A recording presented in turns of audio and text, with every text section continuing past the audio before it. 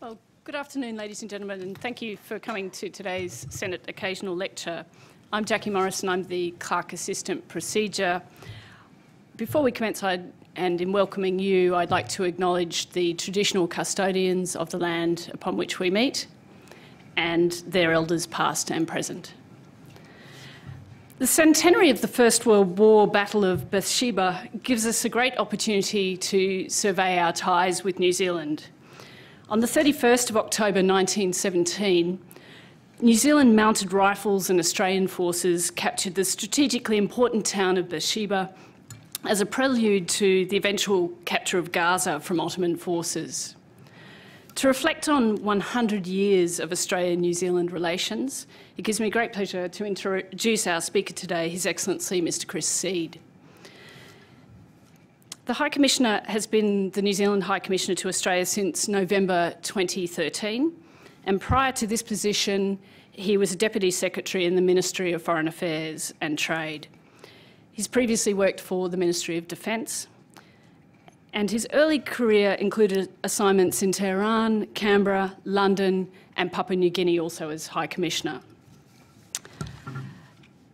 He's also had a number of roles in Wellington and served with the International Peace Monitoring Team in the Solomon Islands, the New Zealand delegation to the UN General Assembly, and was seconded to the Australian Department of Foreign Affairs and Trade.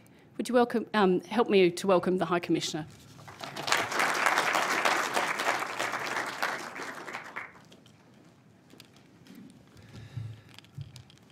Well, uh, thank you, uh, Jackie. Thank you very much for the uh, introduction, um, and thank you very much for the kind invitation to uh, uh, come and speak in this um, august Parliament uh, on this this day. Um, it's a rather interesting day for New Zealanders, of course. Um, we're waking up to the news of um, Jacinda Ardern's um, elevation to be our Prime Minister, our 40th Prime Minister our second youngest and um, the third um, female to uh, hold the job. So um, it's, uh, that speaks to the uh, Senate's uh, great timing uh, in extending this invitation. Um, and I thank them for that, and I thank all of you for the interest um, in, in Things New Zealand. I contemplated uh, beginning this uh, speech with the line, um, friends, politicians, countrymen. Um, but with um, Australian ingenuity uh, being pretty material uh, in this place at the moment, uh, let me in, uh, start instead by acknowledging the traditional owners of the land here, the Ngunnawal people, their elders past and present, and indeed all Indigenous Australians, including of course those represented uh, in this Parliament. And for um, any Deputy Prime Ministers, um, Senators or other fellow New Zealanders present, um, a warm tēnā koutou uh, to you too. Um, it's been, become habit, I guess, for leaders on both sides of the Tasman to refer in their official remarks to our two countries as family. One may well argue that the recent um, parliamentary dual citizenship re uh, revelations simply take that sentiment to its logical and literal conclusion because a closer analysis shows that trans-Tasman political family tree to be surprisingly deep-rooted. At a rough count, we've furnished each other, voluntarily I might add, with no less than three Prime Ministers, possibly four if John Gorton was indeed born in Wellington, as has sometimes been claimed. And at least two Australian state premiers in recent uh, decades, Joh Bjelke-Petersen and Mike Rann, were born in New Zealand. Remarkably, in fact, nearly every major political party or its predecessor currently represented on either side of the Tasman has at one time boasted a leader or deputy leader who allegedly or actually hailed from the other side of the ditch. Notably, though coincidentally, this includes the first Labour Prime Ministers of both countries, Michael Joseph Savage uh, became New Zealand's Prime Minister in 1935, born in Victoria, and Chris Watson, um, Australia's um, first Labor Prime Minister in 1904. Indeed, uh, in a situation uh, people today might regard as a bit ironic, um, the High Court included, Uh, Watson's New Zealand heritage and upbringing was reportedly invoked at the time precisely to support his constitutional eligibility for Australian office. This was on the basis that it made him a subject of the Queen, notwithstanding his birth father's more constitutionally questionable South American and German ancestry. But legal interpretations aside, one of the better personal reactions to the uh, dual citizenship story of the moment would have to have been the Sky News commentator who observed that the relevant section in the Constitution existed to guard against politicians who were the subjects of a foreign power. And he, with I think all due respect to New Zealand, pointed out that we were neither because in many ways it's that kind of sentiment that uh, points to a few clues about how we've arrived at the bond our two countries enjoy today. The Battle of Beersheba. I should um, return uh, to the thematic starting point uh, for this speech because in just under a fortnight on October the 31st, Australian and New Zealand political and military leaders will meet in Israel to mark the centenary of the, that First World War battle. Just like another watershed moment in our country's history, this one also features a battlefield in a far-flung corner of the Mediterranean. In some ways it will be an unusual commemoration. First, the outcome was somewhat different to that other Mediterranean campaign. Compared to Gallipoli, uh, not to mention some of the other Middle Eastern battles, and certainly in comparison to the scale of our contribution and casualties on the Western Front, Beersheba itself was a relatively minor action. But to co-opt a cliched phrase often used for both our countries, it certainly punches above its weight in name recognition.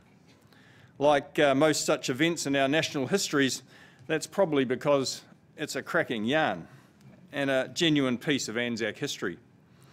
For a start, unlike on the Western Front, Beersheba and indeed the whole Middle East campaign featured a combined New Zealand and Australian fighting unit, the Anzac Mounted Division. Formed in the wake of Gallipoli, this division comprised the New Zealand Mounted Rifles Brigade, the 1st and 2nd Australian Light Horse Brigades, and even, for good luck, the British Royal Horse Artillery Brigade. By the time of Beersheba in October 1917, the Anzacs, together with the Australian Mounted Division, had defended the Suez Canal in 1916 and played a key role in the critical victories of Romani and at Magdhaba in January 1917, which drove the Ottoman forces back across the Sinai. In March and April, it had fought side by side with the Australian Mounted Division against heavily defended Turkish positions in the first and second battles of Gaza. At the time, the Anzac Division was being commanded by Australia's then Major General, uh, Major General Harry Chauvel. But the Imp Imperial Forces' failure uh, to take Gaza in those battles saw him promoted in April 1917 and given command of the entire Desert Mounted Column.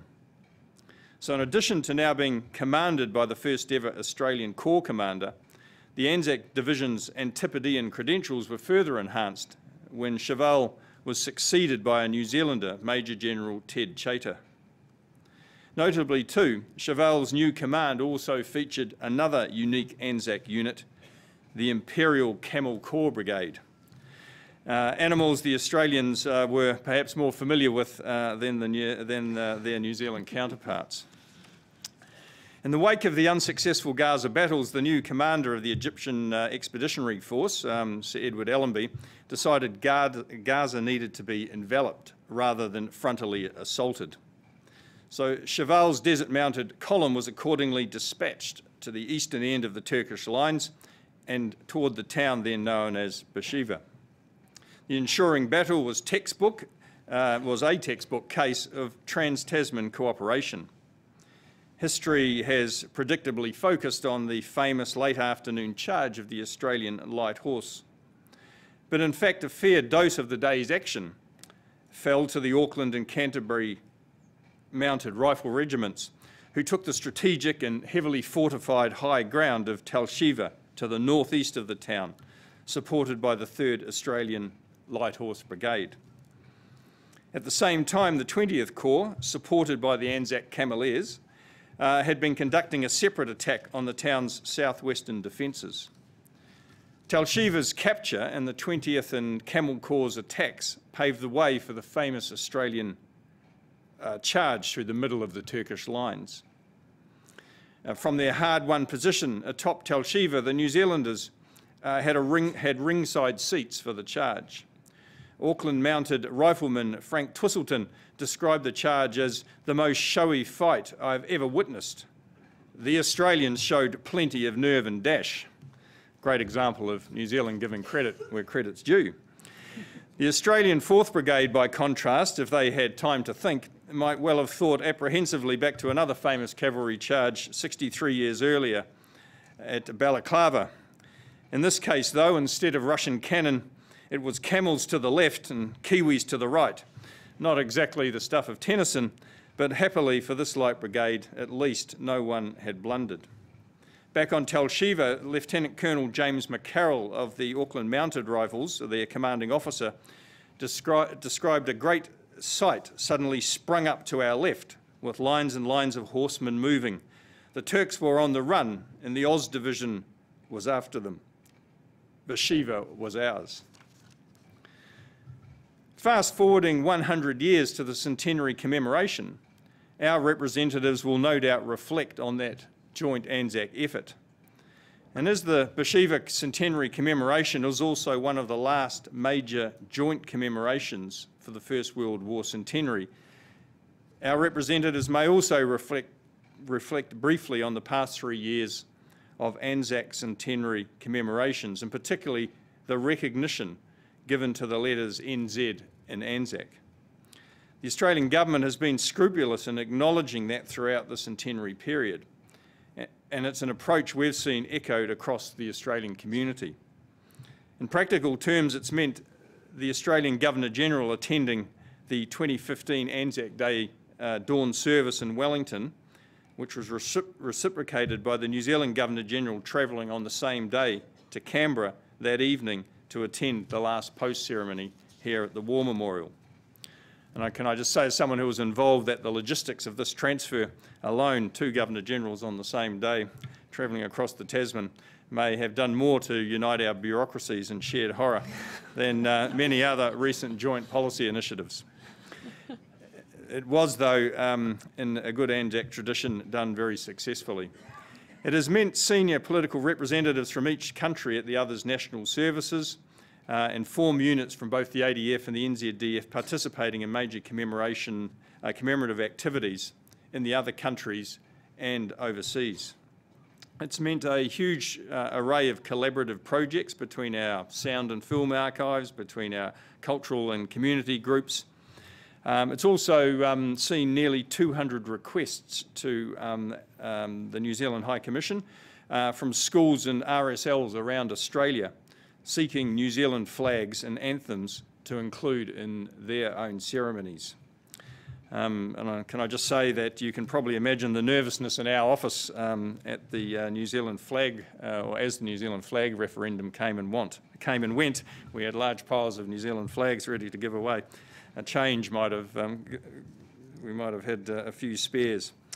Um, but it's been a great illustration, uh, the, the commemorative period has been a great illustration that the bonds between both countries run much broader and deeper than the formal government-to-government -government relationship. Uh, maybe we shouldn't be surprised by this. Australian public sentiment uh, has been clear for a while. In the 10 years that the Lowy Institute has conducted its annual thermometer of Australian attitudes towards other countries, New Zealand has consistently ranked as the country most warmly regarded by Australians. And this year the sentiment maxed out at 85 degrees. So that's hot even by Australian standards. And at the top of a real mountain, um, like Aoraki Mount Cook, it's pretty near boiling point. But it's a sentiment which few, if any, um, countries today uh, could claim to match, let alone consistently over more than a century. And in the current international context, where many other long-standing and close relationships appear to be fraying, the resilience of the Trans-Tasman bond seems even more impressive. But the past hundred years have been quite a journey, so it's worth briefly reflecting on some of the similarities and differences between 1917 and today to understand and to appreciate how far we've come. At face value, much about the Australian and New Zealand of 1917 would seem familiar to us today. Then, uh, as now, Australians and New Zealanders travelled freely and extensively across the Tasman, particularly as migrants, certainly to work, and even then as tourists. The migratory pattern saw large numbers of New Zealanders and Australians serving in each other's forces. There were more than 2,000 uh, New Zealand-born soldiers uh, in the Australian Imperial Force in the First World War. It's a remarkable figure given New Zealand's population was just one uh, million at the time. And of those 2,000, uh, uh, three would go on to win Victoria Crosses for Australia. The Trans-Tasman migratory trend is also evidence from the Beersheba casualty records. Uh, at least two of the 173 identified Australian casualties buried in the Beersheba cemetery are recorded as having been born in New Zealand. Just as one of the 31 New Zealand soldiers buried there is recorded as having been born in Australia. The, the famous Anzac mateship was genuine then, though even uh, then it was not without its familiar ribbing and rivalry. Uh, notwithstanding their recognised contribution, uh, New Zealanders in the um, Australian Imperial Force were known for some time as Bill Massey's tourists, uh, Massey being our Prime Minister of the time.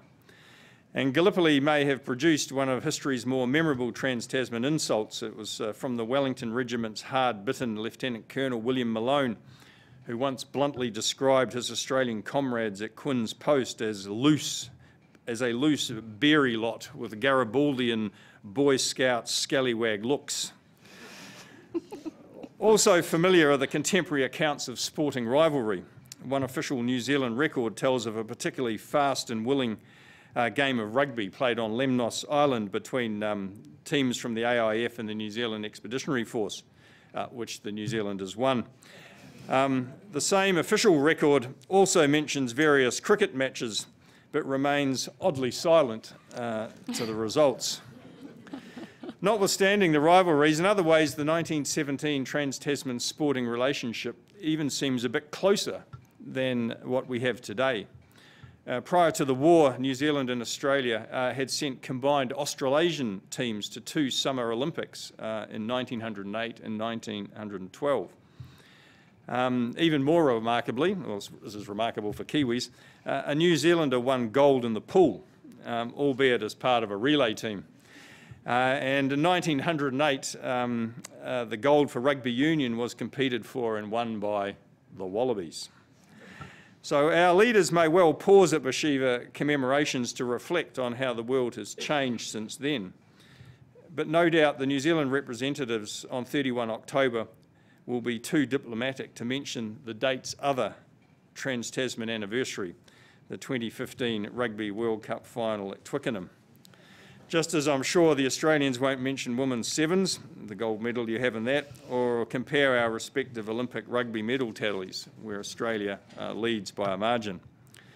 They might, though, instead reflect on that historic Australasian effort in 1908 and 1912 and note that if a similar joint team had uh, competed at Rio in 2016, it would have won 47 medals, including 12 golds, placing Australasia fifth on the overall medal table. So that makes the New Zealanders feel better about themselves anyway. It's not bad for a combined population of 25 million. Sport, military and migration aside, however, in other ways the Trans-Tasman relationship of 1917 was surprisingly a lot thinner than it is today. Politically, New Zealand's decision not to federate with Australia, notwithstanding the Constitution's optimistically uh, premature preamble, uh, had long been settled. Uh, undoubtedly, this reflected a range of strategic and policy reasons, but certainly seems to have accurately judged the public mood in New Zealand at least insofar as this is reflected by a uh, 19, uh, sorry, an 1899 edition of a short-lived uh, Wellington journal called The Critic, which published what it rather loosely described as a poem warning against joining the Australian Federation. Um, the ditty predicted that doing so would see New Zealand overrun with larrikins, bookies, medical quacks, yes-nos, um, sundowners, um, gallow birds and others afflicted with delicate health and chronic fatigue, but active, however, in all shades of iniquity. Extraordin extraordinary stuff. Whatever the reasons, the decision to go it alone as a dominion and um, Britain's retention of foreign and defence policy responsibilities meant that a big chunk of the bilateral political relationship was transacted after Federation here via London. But perhaps more striking was the relative uh, you know, absence in 1917 of meaningful economic integration. The contemporary investment relationship um, consisted mainly of a few um, New Zealand branches of Australian trading banks, most of which were headquartered in the UK. And our shared emphasis on pastoral agriculture and exporting to Britain meant that New Zealand and Australia both accounted in 1917 for less than 10% of the other's total trade. In the hundred years since 1917, the links between New Zealand and Australia have evolved to cover a broader, deeper and richer landscape. A 2015 study by McKinsey Global Consultancy described us as the two most connected countries on the planet. It ranked us ahead of Canada and the US, Malaysia and Singapore, and even the core EU member states, France and Germany. The story of that evolution and the thickness of the modern relationship reflects a number of strands.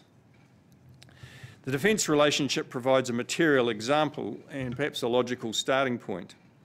It's a bond that predates Gallipoli, but in, but in the past 100 years has seen New Zealand and Australian Defence Forces serving or training alongside one another, one another in conflict and peacekeeping operations on nearly every continent. It includes our 16-year-long commitment in Afghanistan, and in a distant echo of a century ago in Beersheba, it is continuing with our joint, uh, sorry, with our Defence Forces joint deployment to the Building Partner Capacity Mission in Iraq today. It's reflected in our day-to-day -day defence cooperation.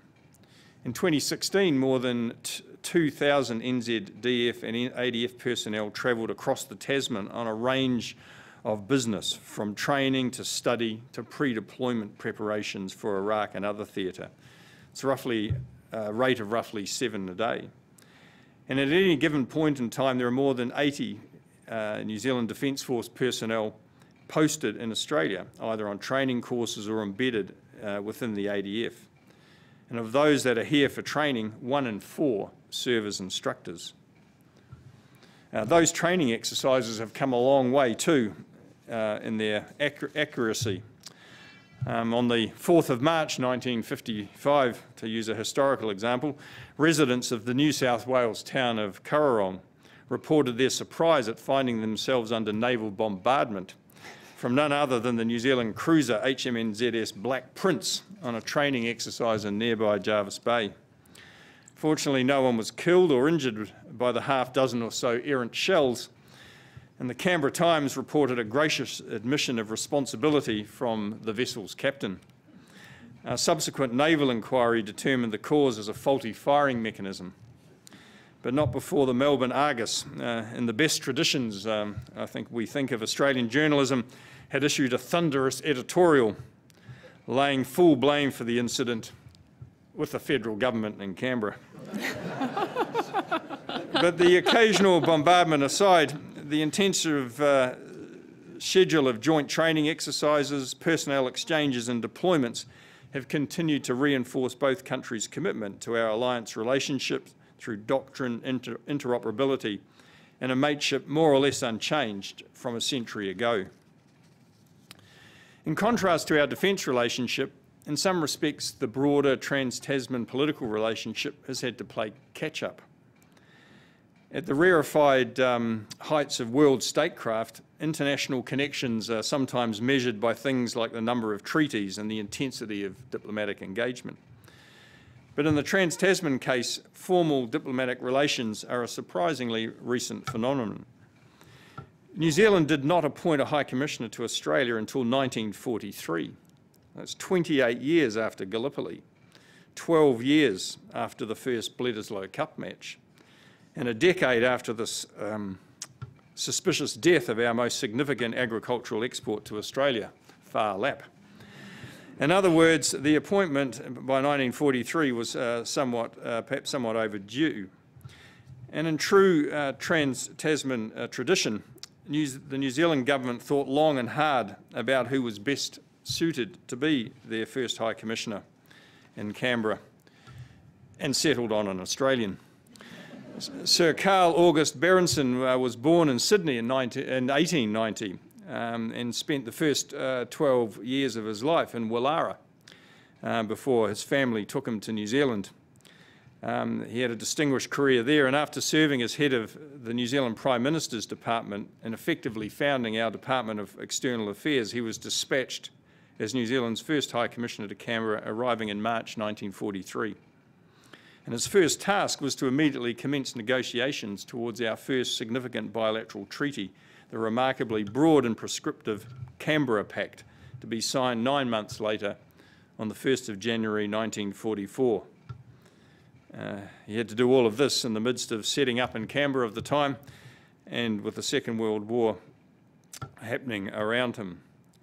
Impressive though Berendsen's career may be, he was um, undoubtedly eclipsed by his Australian counterpart in Wellington, the extravagantly named and larger than life Thomas George de Largie D'Alton. A boilermaker by trade, but boasting skills including juggling, fire eating, amateur theatre, and navigating Tasmanian Labor Party politics, D'Alton's overseas postings read a bit like a diplomatic uh, cautionary tale. While in Wellington, he reportedly boasted the city's finest wine cellar admittedly a, a slightly less impressive feat uh, given the realities of 1940s New Zealand. Um, he raised eyebrows after getting into a fistfight at a theatre, uh, and his posting was also memorably curtailed by having to return to Tasmania to answer criminal charges from historic corruption allegations. Indeed, such was D'Alton's um, diplomatic brand that a subsequent attempt in 1950 to appoint him Tasmania's Agent General in London uh, prompted the outraged Speaker um, to dissolve the House in Tasmania and call a general election. D'Alton uh, accordingly remained in Tasmania and spent the twilight of his career using his skills as an impresario to uh, promote his vision of a Miss Tasmania quest uh, to raise money for a children's treatment fund. But the mere 21 days between his commencement of duties in Wellington on 10 December 1943 and the signature of the Canberra Pact on the 1st of January 1944 is undoubtedly a record, one to which many a High Commissioner can only hope to aspire. Uh, today, the Trans-Tasman Treaty architecture is a bit more substantial. Uh, New Zealand now has 77 treaties in force with Australia. This is more than we have with any other country apart from the UK and that comparison is slightly unfair given many of the British agreements were automatically inherited from the colonial relationship, which effectively give the Brits a couple of hundred years head start. Uh, but in ad addition to those 77 treaties, there are more than 150 non-level, um, uh, uh, non-treaty level arrangements that we know of. So Australia is definitely catching up. Formal um, treaties aside, the pinnacle of the political relationship today is the annual uh, Trans-Tasman uh, Leaders Meeting, um, the summit of our two Prime Ministers. Um, interpersonal relations uh, between our political leaders have long been a mainstay of the, um, of the Trans-Tasman relationship, uh, helped no doubt by the many family connections um, I've mentioned earlier. Familiarity, of course, can also breed contempt, and the antipathy um, reflected in some of our prime ministerial sledges uh, is, of course, the stuff of legend. Uh, sometimes these have been almost lyrical, um, like uh, Sir Robert Menzies' quip in response to a, um, shall we say, pretentious remark by the New Zealand Prime Minister of the time, Keith Holyoake. Menzies said that from such tiny acorns, great Hollyoaks grow. Others have uh, been more pointed, like uh, Bob Hawke's description in his memoirs of David Lange as someone who um, seemed to find sustained sessions of concentration difficult. Uh, Lange, of course, gave as good as he got, uh, remarking that Hawke's book uh, needed to be read by a psychotherapist rather than a politician. and of course, Sir Robert Muldoon's famous response to allegations of New Zealand's best and brightest leaving for Australia remains unparalleled, even by rhetorical masters such as Keating.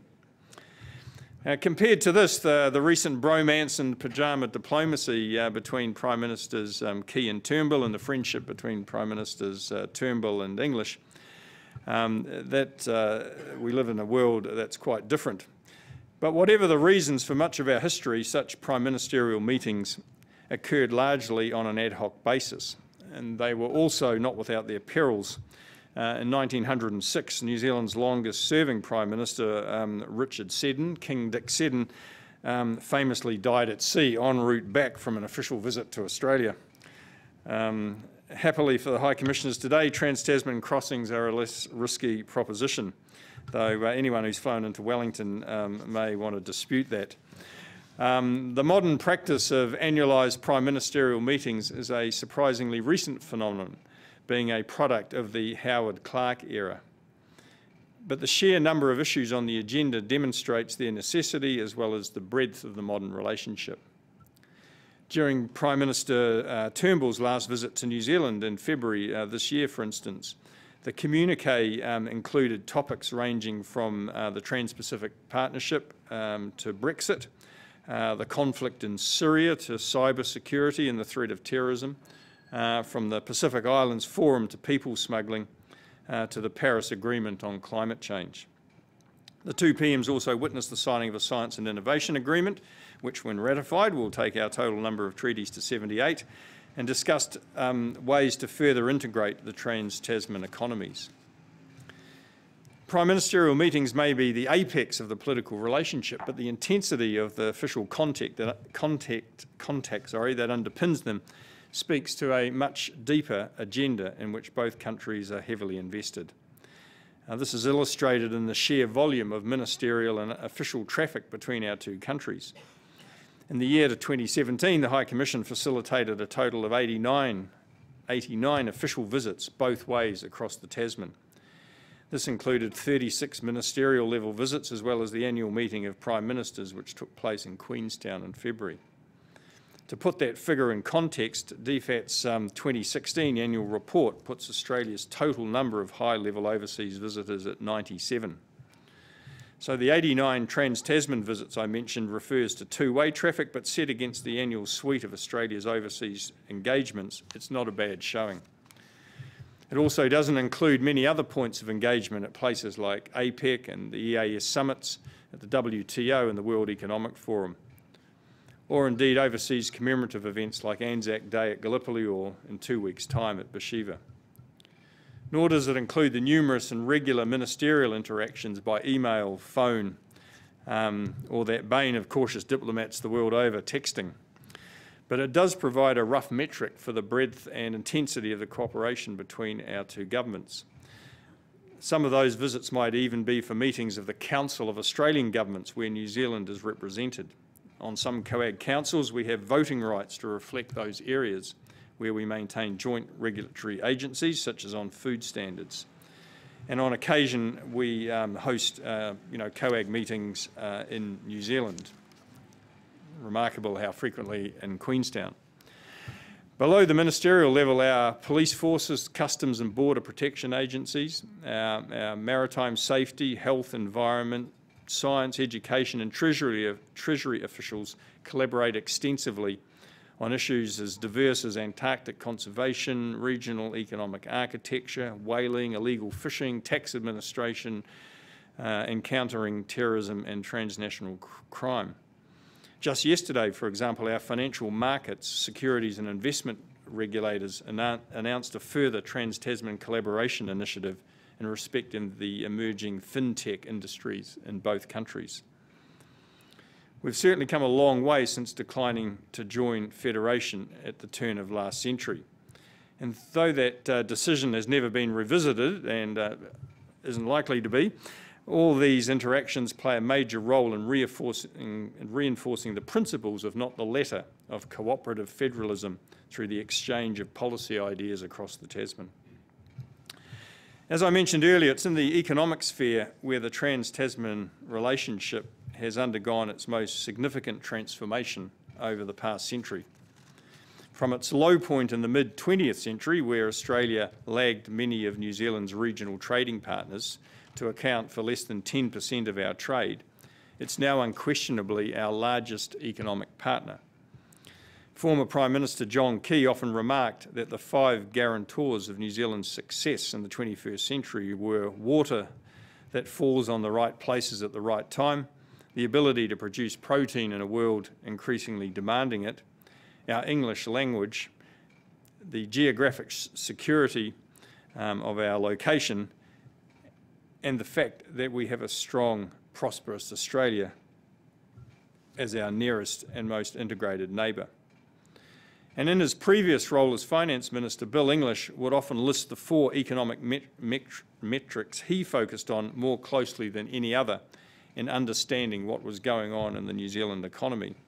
Two of them are quite obvious, the milk powder price and the New Zealand dollar exchange rate. But the other two were the Australian Housing Index and the iron ore price, reflective of the role Australia played, the decisions made here um, that they have on our economy. So on almost any metric, Australia matters to us more than any other international partner. Despite the recent displacement by China as our largest goods market, Australia remains New Zealand's number one trade and investment partner and our largest economic partner by far. Two-way trade totalled 25 billion in 2016.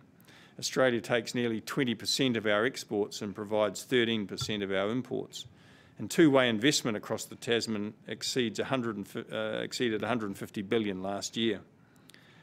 Underpinning all of this is a suite of agreements which collectively are regarded as the world's leading trade and investment framework. Its centrepiece is the Closer Economic Relations Trade Agreement. And although many in New Zealand would love to take the credit, the record shows CER to have been very much an Australian initiative. The idea was first proposed during a series of trans-Tasman political exchanges by the Australian Deputy Prime Minister of the time, Doug Anthony, in 1979. His motivations reflected a mix of the strategic and commercial, on the one hand to bolster the economic security of a key regional partner and also to work better together internationally. But he also wanted to prise open New Zealand's famously closed and protected market which at that time was also Australia's number one export market for elaborately transformed manufactures. Surprisingly, given the benefits that have since accrued, the merits of the Australian proposal were not immediately apparent to New Zealand. Though some agencies embraced the idea, contemporary records report significant nervousness from others. One Australian report expressed the author's frustration that New Zealand officials were failing to see what was known as the big picture and, and remained infuriatingly fixated on specific tariff lines for whiteware.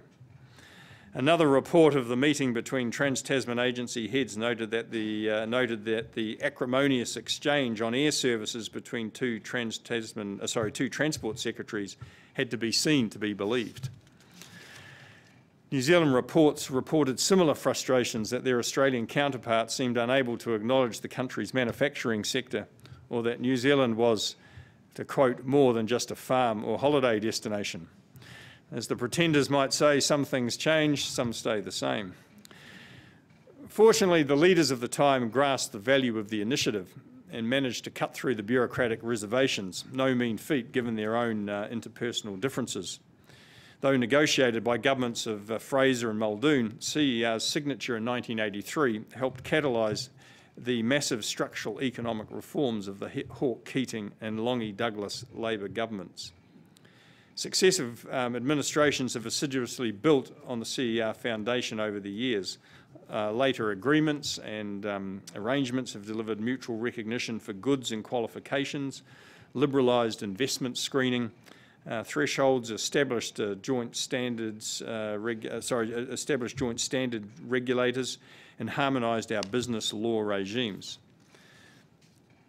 The most recent addition to the economic piece has been the signature earlier this year of a Science, Research and Innovation Treaty. This agreement builds on our extensive researcher and institutional collaboration and strategic co-investments in major science infrastructure like the Australian synchrotron in Melbourne and the Square Kilometre Array. It, gives, uh, it aims to give effect to, our, to both Prime Ministers' vision of a trans-Tasman innovation ecosystem. It also forms part of an intensive whole of government and business agenda to deliver a single economic market across the Tasman. The significance of the modern relationship um, is, of course, not limited to the military, to government, or even the economy. For most New Zealanders, Australia assumes a far greater importance. Free movement across the Tasman has been a foundation principle of our two countries since the 18th century, and we're coming closer together in population terms. So there are currently around 640,000 New Zealanders uh, New Zealand born people living in Australia. That's about 12% of uh, New Zealand's population and around 80,000 Australian born people in New Zealand. This difference is also a surprisingly recent phenomenon. Not until 1967 did the numbers moving from New Zealand to Australia overtake those going the other way. And although the absolute figures may seem like a big difference, as a percentage of host population, it's actually surprisingly proportionate. It means that New Zealanders in Australia and Australians in New Zealand both constitute roughly 2% of our respective populations. That trans-Tasman population has carried its passions with it. Um, our rugby, soccer, league, basketball and even American football teams all play in Australian domestic competitions. Uh, we listen to musicians like Crowded House, Gotye and Kimbra, watch TV shows like Neighbours, Home and Away or Top of the Lake. And we're even united in our mutual attempts to variously claim and then disown Russell Crowe. This is also reflected in the vast array of um, professional and cultural Australasian associations spanning the ditch, from uh, chartered accountants to philosophers, uh, convenience stores to pharmacies. Even our parliamentary staff cooperate outside of work hours through the Australasian Society of Clerks at the Table. Who would have known? Um, as the McKinsey report made clear, our relationship is deeper and broader than nearly any other country, but it's also incredibly intimate. Um, while Australia's significance to New Zealand goes without saying, the question is, what's in it for Australia? uh, we think quite a lot. Economically, New Zealand is Australia's seventh largest two-way trading partner, and we're Australia's fifth largest market for service exports. But headline statistics of that sort only tell part of the story, especially those based on value during a commodity boom. One often overlooked aspect of New Zealand's trade with Australia is that we are disproportionately important to Australia's small and medium-sized enterprises. More than 18,000 Australian businesses export to Australia, way more than to any other country.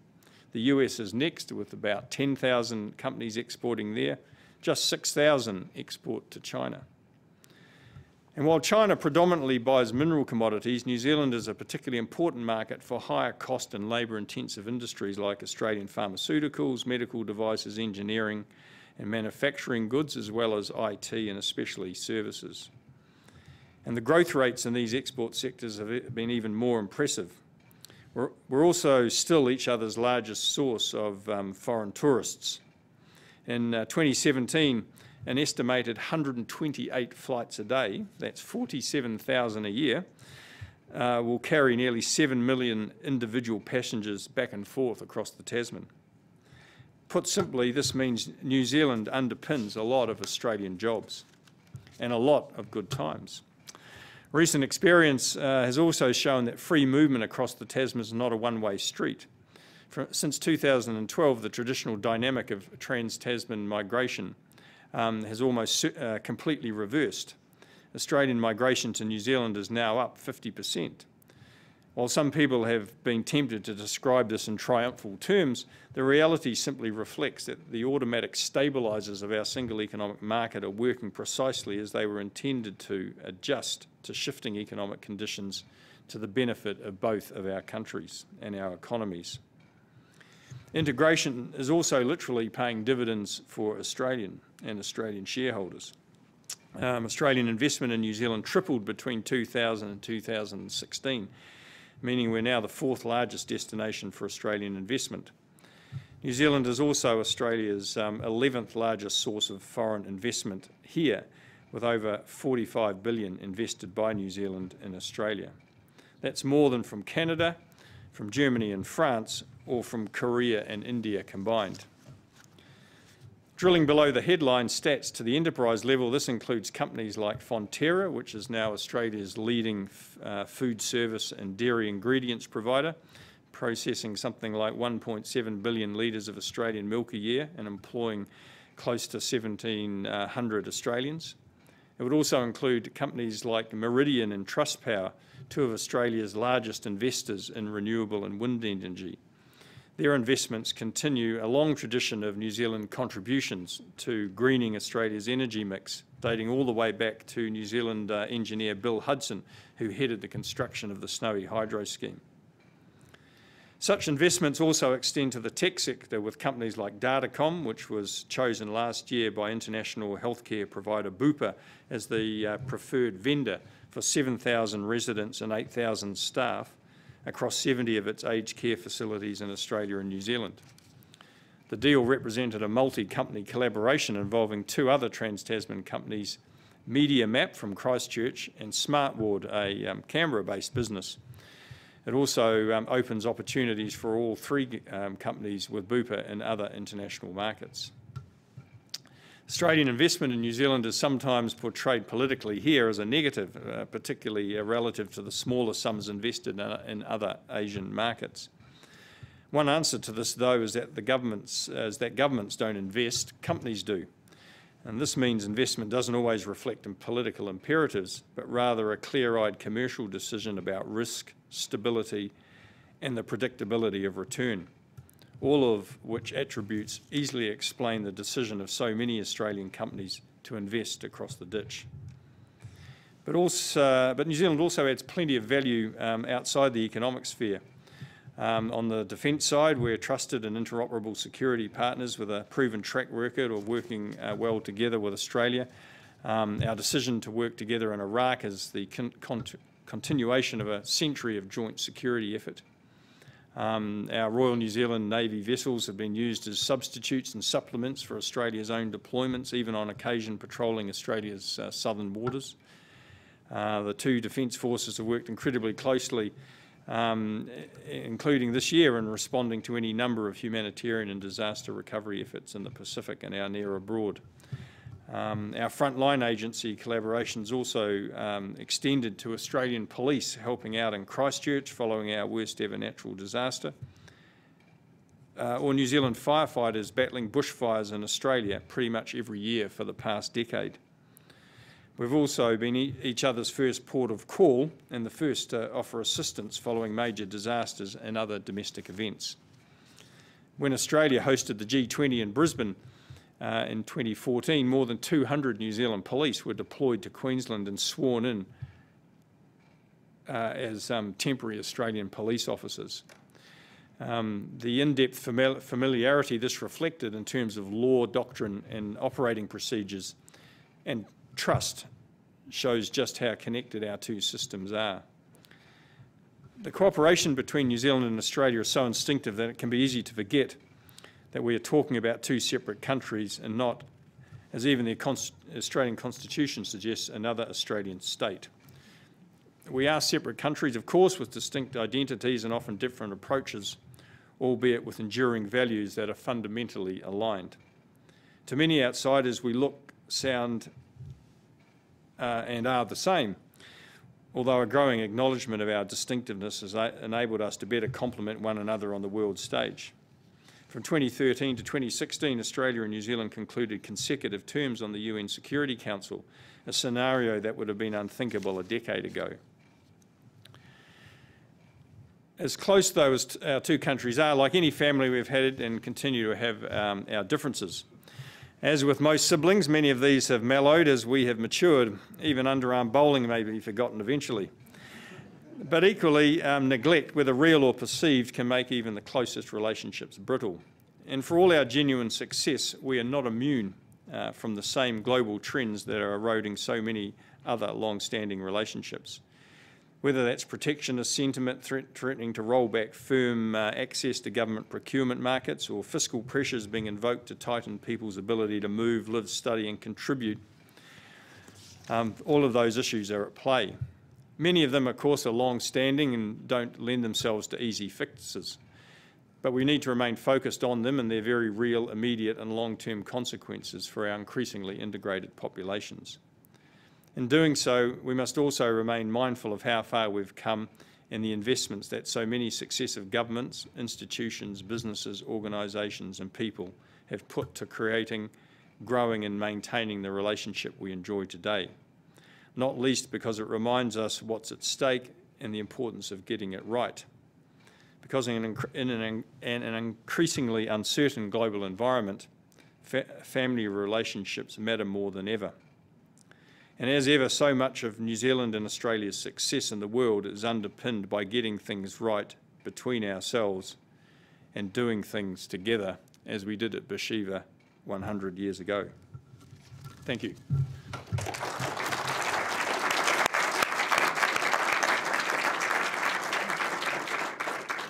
Well, thank you, High Commissioner. It's been an absolutely rollicking gallop, I think, across our historical, economic, defence and sporting ties.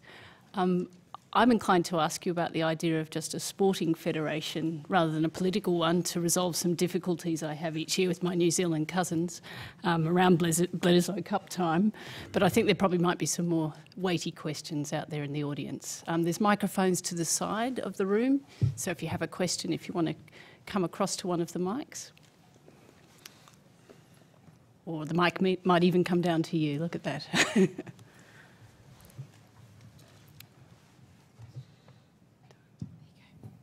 oh, thank you. Uh, High Commissioner, for that talk. It's a, a great coverage, and I hope it gets great news coverage in Australia. It deserves to. Now, to pick up the Clerk Assistant's words, my question is, is a weighty one. And it arises from the leaflet that they sent out advertising your addressed to us today. Uh, the first paragraph, I think, was probably uh, put together uh, by you or your office. And one part of that really caught my attention. It's just the last sentence in it. And I made an assumption, and that is that the unnamed uh, New Zealand Prime Minister there was Mr. Muldoon. And if that's the case, whether the ending doesn't have a bit of a diplomatic gloss on it, because it implies that Mr. Muldoon, if I'm right there, said that the interrelationship, which is so developed as you described, has influenced, influenced the IQs of both countries.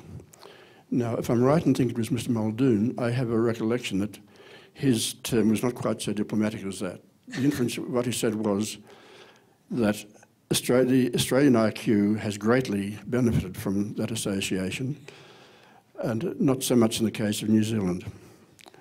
So my question is, am I right in assuming about the Prime Minister, and how about my recollection of what he said? Well, um, well thank, thank you for your thanks. Um, um, uh, you're correct. Uh, that does refer to Sir Robert Muldoon. Of course, he famously said that um, New Zealanders um, moving to Australia raised the IQ of both countries. Um, but that was a, a, a, comment of very very last century, um, and um, isn't it great that we've moved beyond that, um, sledging each other? It's like the underarm bowling.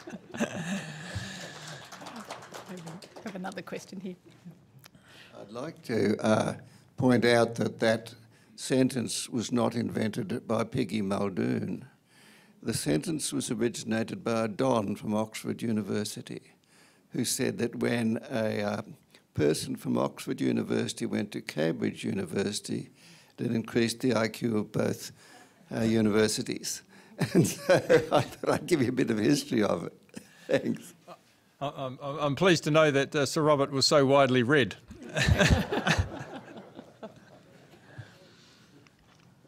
Any other bids? Ah.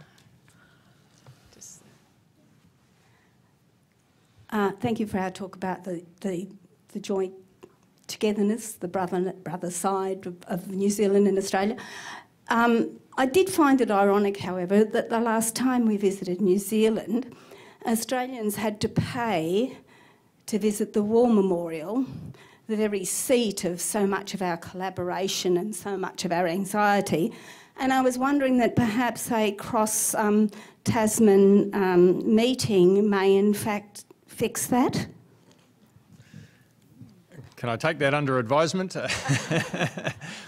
It sounds it sounds like a, a marvellous idea. Um, um, I, I must must admit I didn't uh, wasn't aware that people had to pay to go to our war memorial, but I'm sure that in the New Zealand way we charge everyone, New, New Zealand included. I thought you meant not just the Australians, but I'm sure we wouldn't single Australia out. Right, well, if we haven't got any further questions, I might ask you to join me and thank you very much. It really was a very mm-hmm. entertaining. You're welcome.